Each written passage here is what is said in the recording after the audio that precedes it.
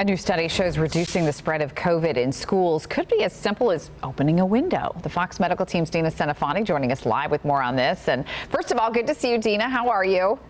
Hi, good to see you. I'm good. My uh, youngest went off to high school today, first day of junior year, and then the other two are in college. Oh my so, gosh. um, we're getting there. Oh, dear. I mean, and you know, and for us, it feels so strange to hear you say first day of school because we've been at school for a month already. I know. In Michigan, um, it's always been you wait till after Labor Day. Now, some schools are changing that because it's it's like it's come on, go to school already. It's the summer's too long. But it's, Labor Day is a big tourism holiday uh, Right. here, so it's traditionally been the start of school the day after. Uh, let's talk about school and what's going on. This is an interesting study that now uh, it's a small study at this point, but it's a study of dorm rooms where they looked at how just opening a window can maybe reduce the risk of virus. And Amy, we've heard about ventilation being really a key factor, a very simple way to maybe uh, get rid of this virus in the air, you know, get it out, uh, keep it from lingering too long.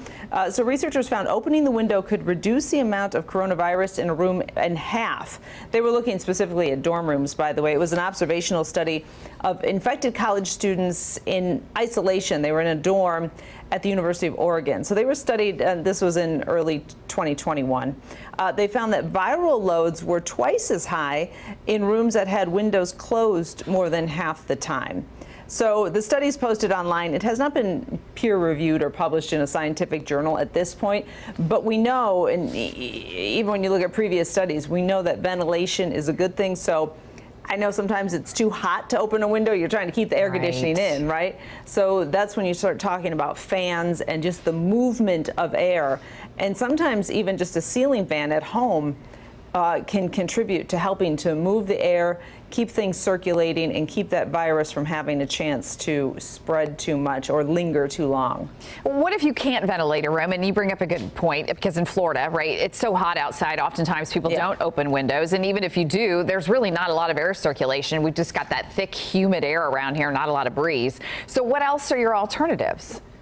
Well, I was looking to see what the research says about just using simple fans, and there is some theory uh, that if you just plug in, you know, if you just have a, an inexpensive fan in a room to keep uh, airflow going, that that can also contribute to good ventilation. So even though you're not bringing in the outdoor air, they're also we're also starting to see uh, on the market more and more ventilation systems where you plug in and move the air. The important thing is that we don't want to be duped into buying expensive things for our home that aren't necessarily doing much to protect us from virus. They're just moving air.